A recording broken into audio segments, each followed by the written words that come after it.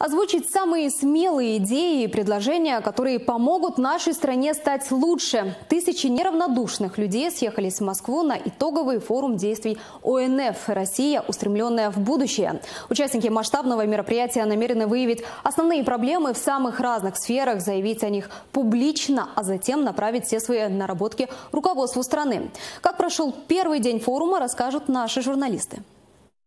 Активисты и эксперты Народного фронта, представители власти, федеральные и региональные журналисты со всей страны. Всего более 4 тысяч человек в этом году работают на форуме действий ОНФ в Москве. На всех площадках сегодня будет проходить не просто выдох пара с проблемами, с предложениями, что где нужно изменить на территории, где нужно поменять э, законодательство. Это больше будут мозговые штурмы. Дискуссии проходят на шести тематических площадках. Каждая оборудована тач-панелями. С их помощью на больших экранах Народный фронт демонстрирует свой контент. То, чего удалось добиться за всю историю движения. Сегодня же на повестке дня вопросы будущего. Это экология, экономика, медицина, образование и много других актуальных для страны тем. В этот раз у нас очень много представителей активной молодежи. И для них у нас э, организована специальная площадка «Молодежка ОНФ». Другие площадки носят название по охвату современных тенденций и прорывных таких амбициозных идей, которые в обозримом будущем должны стать прорывными в экономике, в социальной сфере, в развитии территорий. Отдельная гордость организаторов форума – выставка, где представлены различные отечественные проекты. К примеру, этот двухместный электромобиль российского производства очень компактный. Он может разогнаться до 80 км в час и легко трансформируется. Достаточно просто нажать кнопку. Участник выставки Евгений Смагин называет его гордостью Саранска и экологическим будущим нашей страны.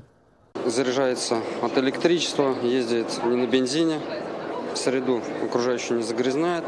Заряжается он от простой сети 220 вольт, как обычный телефон, точно так же. Заряжается 4 часа, до полной зарядки и может пробежать 100 километров. А этот проект разрабатывают в том числе и для Крыма. Технологии почти готовы. В планах внедрения образцов. С помощью специальных фильтров вода проходит несколько стадий очистки. Вот, к примеру, первая из них. Мы здесь с вами видим вода, которая содержит различные примеси, в том числе и примеси железа. И мы можем, включаем насос, и течет чистая вода из этого контейнера сюда, и она вполне, на самом деле, пригодна для питья. Таким образом, вы можете из очень грязной воды, ну, условно из лужи, да, делать а, чистую воду. Следующий этап – это уже очистка морской воды, которая легко превращается в пресную. Это уже ультрафильтрация, которая позволяет э, удалить все необходимые ненужные ионы и получить уже пресную воду. Этот форум по своему масштабу беспрецедентный, говорят его организаторы. И главная цель всех, кто сегодня здесь, обсудить пути развития России. Важно, что в этот раз повестку формируют простые люди, которые рассказывают о ситуации на своих территориях.